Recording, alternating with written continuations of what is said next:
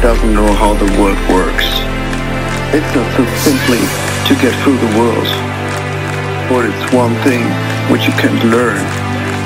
The music introduces people to get new feelings and get new emotions.